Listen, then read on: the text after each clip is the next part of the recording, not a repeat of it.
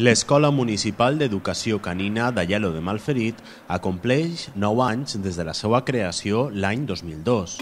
Aquesta escola, pionera en l'ensinistrament de cans a les comarques centrals, acull a gossos de tot tipus de races i edats i persegueix un objectiu molt clar, la sociabilització dels animals amb el seu entorn. Així, lo primer, lo bàsic, lo bàsic és fer l'educació bàsica, ensenyar-los a, pues, a que faci a casa el gos, a que quides que vinga, a que socialitzi primer en persones i gossos, que es faci el gos sociable. Mm? I encontrar el gos que estiga ja sociable en tots els gossos, les persones, i estiga bé. Que gossos assustats que agarren ànimos, gossos perillosos perquè es tranquil·litzen. Entonces, lo, lo bàsic, lo bàsic és això. Després d'ahir ja anem ensenyant-los més coses. Junta Rafael Egea, treballa Hilario Valero, un monitor que porta 25 anys dedicat a l'ensenyança del millor amic de l'home. Ens parlava del naixement d'esta escola canina, l'única que es pot qualificar d'escola municipal. És, és una de les, de les pioneres en, en el món de... Jo crec que no n'hi ha cap municipal.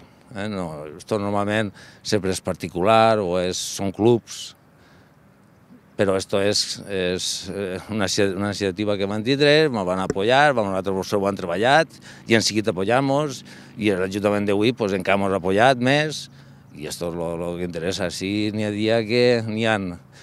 Eh, ara, en aquest moment, ha sobre 70 gossos apuntats una xifra que sempre s'incrementa a final de curs i és que recordem que aquesta escola treballa des d'octubre fins al mes de juliol, moment en el que, al igual que els seus amos, els gossos, fan el seu merescut descans estival. L'horari en el que els cans reben les lliçons de l'Escola Municipal d'Educació Canina és de vesprada els dissabtes i de matí els diumenges i les portes estan obertes a tot aquell que vulgui formar part. Pues la gent que vulgui vindre així, pues entonces ve així, ho prova, ho mira, eh, se li aconsella, eh, té, miri els problemes que té, intentem ajudar-los i li donem una setmana o dos de temps perquè s'ho pensen, no? perquè esto es paga tot bancari, no? que no, si no 20 tant, no, es paga tot pel banc i està tot legal, així no n'hi ha, no hi ha res que amagar.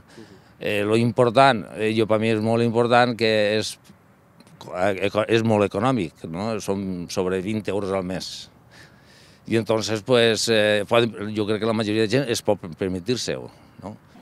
Des dels inicis de l'escola, l'Ajuntament local ha volgut recolzar aquesta aposta per suposar un servei importantíssim per als seus veïns i veïnes. L'Ajuntament aposta fortament perquè veu que és una activitat sana, una activitat que s'està fent sense, sense ànimo de lucro per part d'aquestes persones que estan dirigint-la. Eh, estem apostant per... Hem fet el traslado de, dels terrenos, antes hi havia uns terrenos xocotets, i avui hem apostat per aquests terrenos que són propietat municipal, són més adequats, estan més ben preparats i són molt més grans. Les instal·lacions ja, ja sé, com s'està veient, ja tenen una certa importància i el que volem és que cada vegada més gent vinga a aquesta escola municipal, perquè, com han dit ells també, l'estar disfrutant d'un gos també és molt bonico. És molt important això, que la gent comprenga que l'animal no sols és per tindre-lo per estar en una caseta o en casa, sinó que tens que ensenyar-lo i sobretot disfrutar-lo d'ell. A més a més, l'escola compta des de fa uns mesos amb unes noves instal·lacions situades just al costat de l'autovia CB 40 per a la pràctica i entrenament dels gossos.